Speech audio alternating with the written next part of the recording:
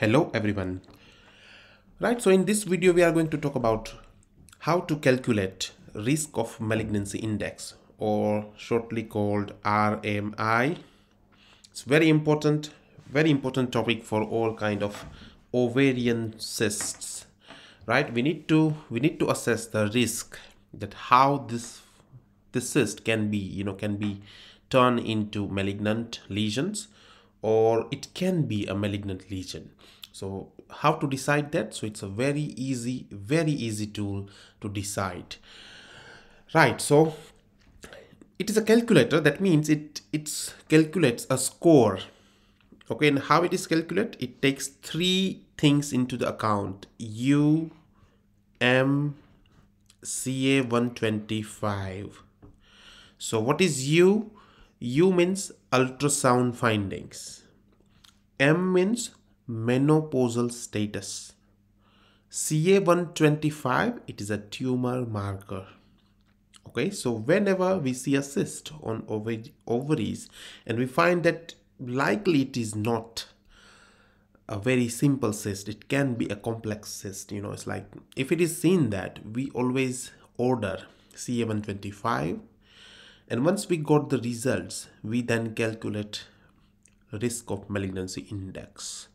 Now how to calculate that? Ca125 the direct okay you didn't you don't need to do anything for ca125 the ca25 the value will be taken here.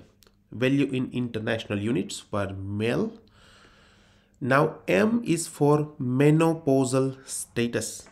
So for premenopausal woman it is taken as a 1 and for post-menopausal woman it is taken as 3 so it's only two values for m either 1 or 3 now the ultrasound findings it's a little bit work. Let's say ultrasound values. The ultrasound values are only 3 it can be either 0 1 or 3 okay? Only three values. Now how to decide which value we'll use here?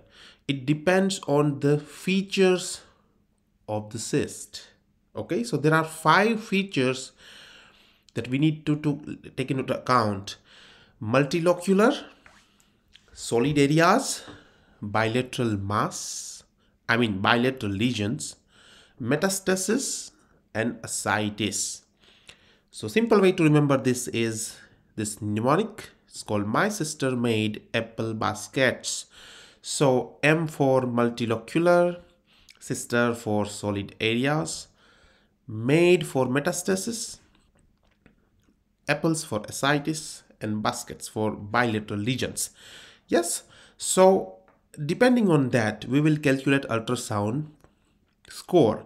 Now ultrasound score as we already have discussed it just three values 0 1 3 to calculate 0, we shouldn't be having any features.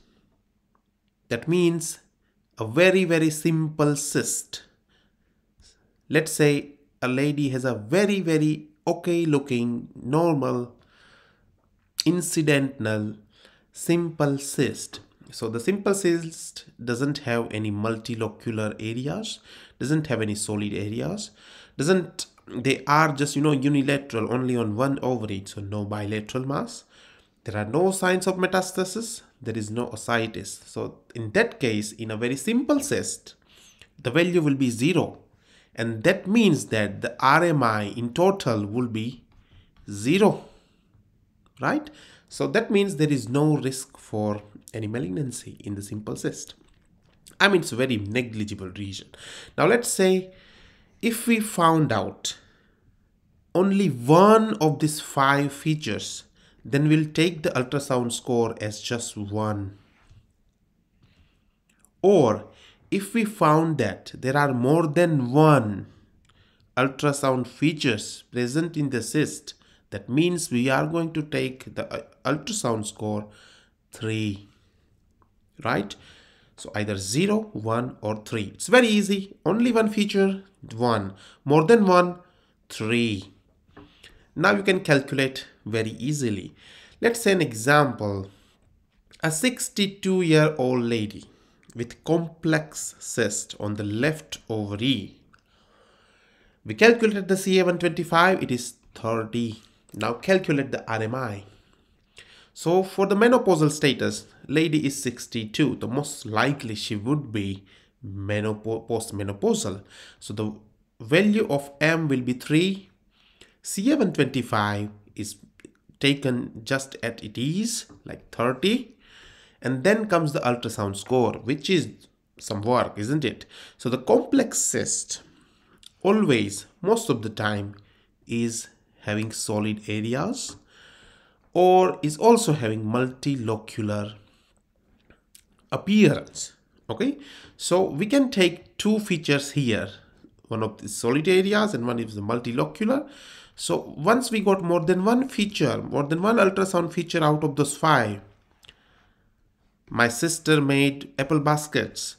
Then we'll take the ultrasound score 3 so how to calculate now? It's very easy. 30 into 3 into 3 it will make it 270 270 270 right. So generally in the guidelines is taken that if the RMI is more than 200 it's not considered good value okay? Right.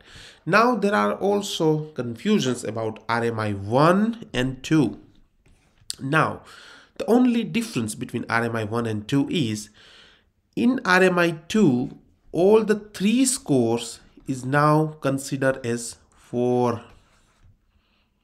that's all rest of the things remains absolutely same.